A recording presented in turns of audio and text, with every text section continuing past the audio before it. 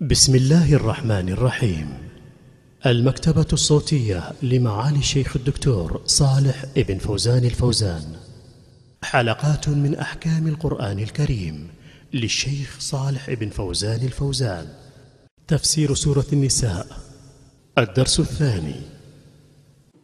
بسم الله الرحمن الرحيم. الحمد لله رب العالمين وصلى الله وسلم على نبينا محمد وعلى آله وأصحابه أجمعين. انتهى بنا الكلام في الحلقة السابقة لقوله تعالى واتقوا الله الذي تساءلون به والأرحام. ثم قال جل وعلا في ختامها إن الله كان عليكم رقيبا أي مطلعا على أعمالكم وأقوالكم وتصرفاتكم لا يخفى عليه شيء منها فراقبوه سبحانه وتعالى ولا تخالفوا أمره وترتكبوا نهيه. فإنه سبحانه وتعالى مطلع عليكم أينما كنتم.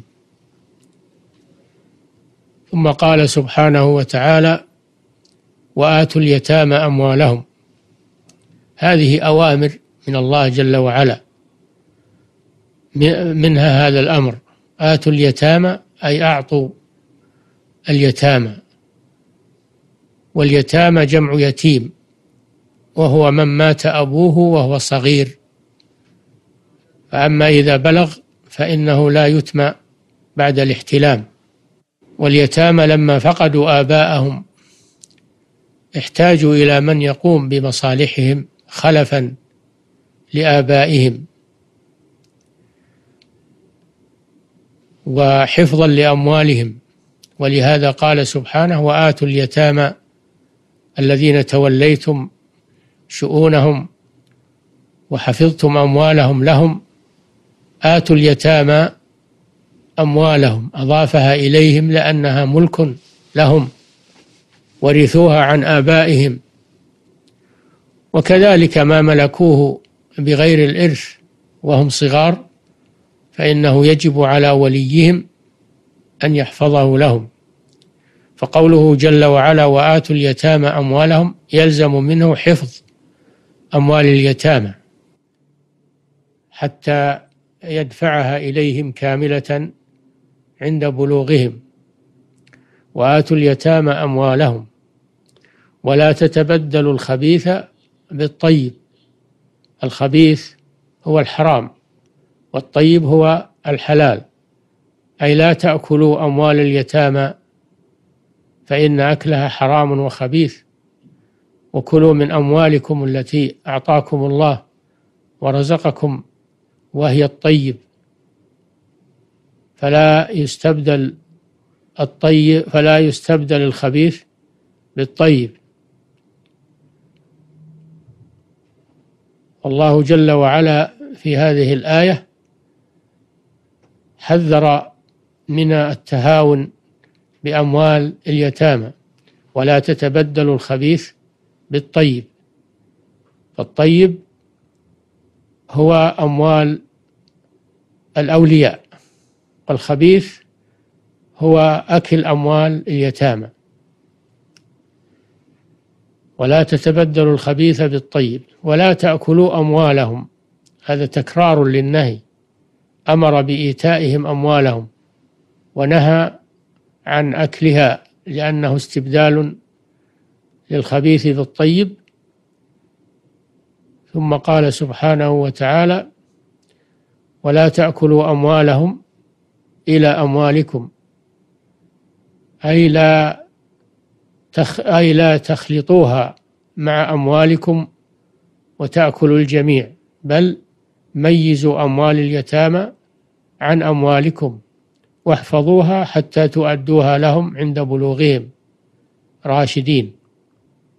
وقيل المراد ولا تأكلوا أموالهم إلى أموالكم أي لا تخلطوا طعامهم مع طعامكم.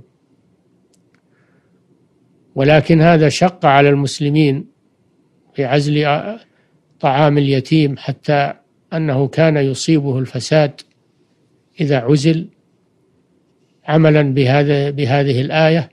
ثم الله جل وعلا نسخ ذلك بقوله تعالى ويسألونك عن اليتامى قل إصلاح لهم خير وإن تخالطوهم فإخوانكم والله يعلم المفسد من المصلح ولو شاء الله لأعنتكم إن الله عزيز حكيم فأباح خلط طعام اليتيم مع طعام أهل البيت وأن يأكلوا جميعا ثم قال سبحانه وتعالى إنه كان حوبا كبيرا. أي أكل مال اليتيم حوب والحوب معناه الإثم. أي إن أكلهم فيه إثم كبير. تحذيرا من تساهل في أكل شيء من أموالهم. وقد جاء في فيما بعد قوله تعالى إن الذين يأكلون أموال اليتامى ظلما إنما يأكلون في بطونهم نارا وسيصلون سعيرا.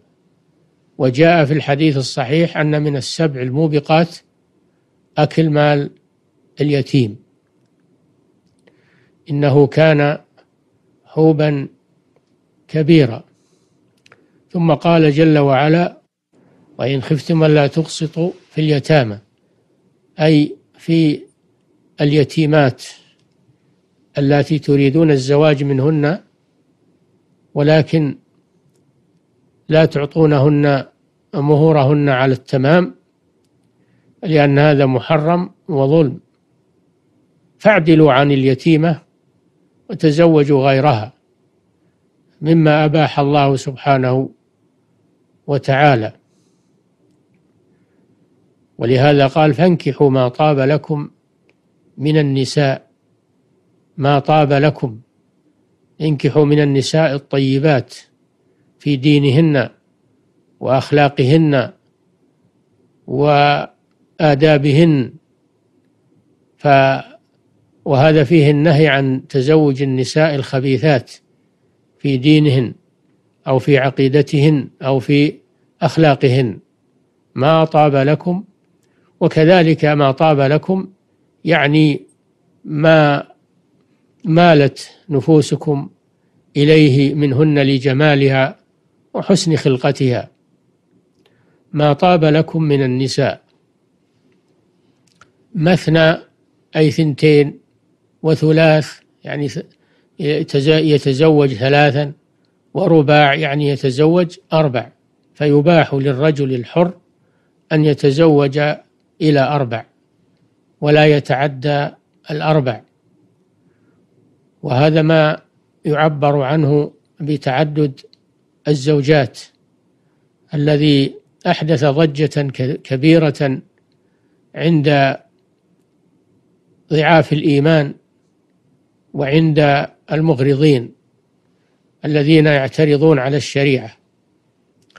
ويظنون أن في تعدد الزوجات ظلما لهن مع أن تعدد الزوجات المصلحة فيه للنساء أكثر من المصلحة للرجال لأن الرجل يتحمل القيام على أربع نسوة بالنفقة والكسوة والمسكن والعشرة ولأن في تعدد الزوجات حماية للنساء من الضياع فإن المعروف في كل مجتمع أن النساء أكثر من الرجال. وكذلك يعتري الرجال ما يعتريهم من الحروب والتعرض للأخطار فيقل الرجال في بعض الأحيان تأكلهم الحروب والأخطار التي يتعرضون لها فلو قصر الرجل على زوجة واحدة يتعطل كم كثير من النساء. هذا وإلى الحلقة القادمة بإذن الله. نستكمل الكلام على هذه المسألة. العظيمة إن شاء الله. السلام عليكم ورحمة الله وبركاته.